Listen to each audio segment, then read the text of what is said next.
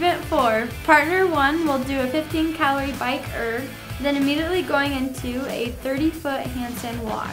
Once completed, they will do five ring muscle ups, then returning by doing a 30 foot handstand walk and 15 calorie bike erg, tagging partner two to complete the same sequence. Once partner two completes the second 15 calories on the bike, the athletes will cross the finish line together.